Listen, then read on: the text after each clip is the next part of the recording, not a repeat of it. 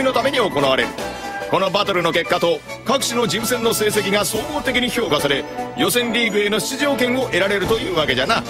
またグループ制を取っているのは各グループのレベルが平均的になるように配慮されているからなんじゃ。選考会の参加トレーナーは実に200人以上。長いバトルの始まりというわけじゃな。では本日の講義はここまで。みんなもポケモンゲットじゃぞ。